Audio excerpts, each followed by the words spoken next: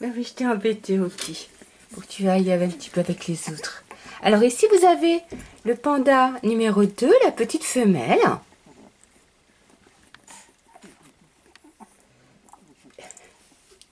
Vous avez la possibilité de voir aussi en même temps, donc, le panda numéro 3.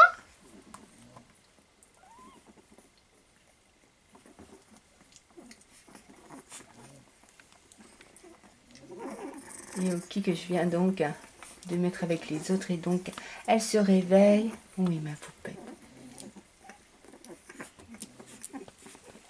Non mais viens pas trop près, je te pas oui je sais. Je sais, je sais, je sais, je sais. Hop là, je t'embête, je t'embête, je t'embête, je t'embête. Je t'embête, je t'embête, je t'embête. Alors, elle est partie à sa place.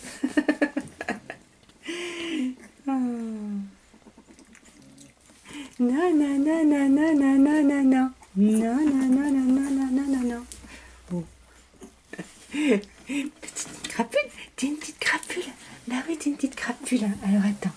Attends, attends, attends, attends. Hop, je vais essayer quand même de te prendre. Mais oui, mais non. Elle peut s'amuser avec moi, hein, donc... Euh, cette petite beauté. Ah, il y a les loups qui aboient. Tu vas avoir quelqu'un. Quelqu'un qui passe. Hein voilà, j'en ai plein dans la salle.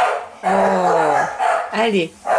C'était donc le panda numéro 2, la petite femelle de la 32e portée de Staffordland.